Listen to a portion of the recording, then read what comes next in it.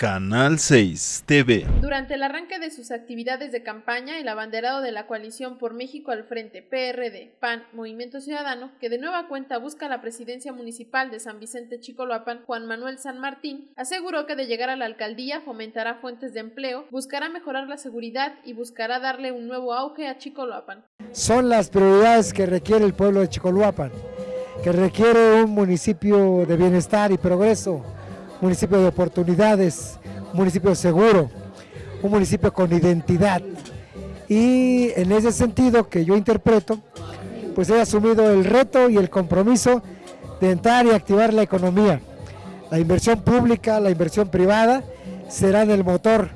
de, como eje en este sentido de seguridad económica, con el de seguridad pública y el de seguridad social, para generar las oportunidades en cultura, recreación, deporte, salud, educación, transporte, empleo y todo lo que reclama los diferentes núcleos sociales de nuestro municipio. El candidato y exdiputado federal por el PRD resaltó durante un mitin realizado en la cabecera municipal que exfuncionarios y militantes del PRI, así como simpatizantes de Morena, se han adherido a su campaña debido a que en los otros partidos se han impuesto por encima de su militancia y su proyecto realmente busca favorecer a los chicoloapenses. Porque considero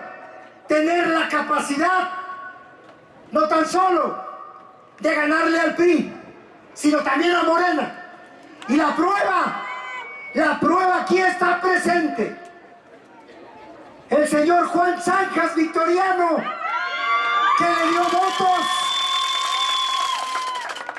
que le dio votos el año pasado a la candidata a gobernador, hoy está siendo parte de nuestro movimiento convencido de que es por esta parte Respecto a los ataques que ha recibido principalmente en redes sociales, dijo que no está exento, pero que a diferencia de otros políticos puede salir a la calle y saludar a la población, además de que no le pueden reclamar nada de su pasada administración. Por eso, por eso estoy aquí, porque a pesar de todo, lo que se cuestione, y se me señale, aquí estoy de frente como siempre para responder. Acompañado del aspirante a diputada federal, el candidato a diputado local, así como integrantes de su planilla, reiteró que seguirá tocando puertas para conseguir el favor de los electores y recuperar el municipio que ya gobernó. Con imágenes e información de Uriel Rivera, reportó para Canal 6 Itlán y